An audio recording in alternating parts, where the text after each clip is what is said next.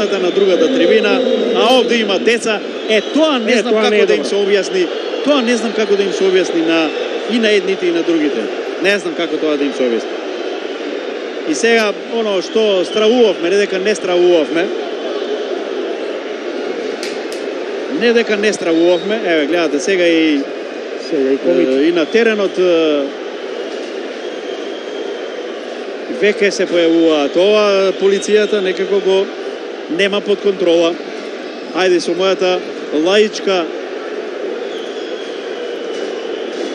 елаборација, ама овде не знам дали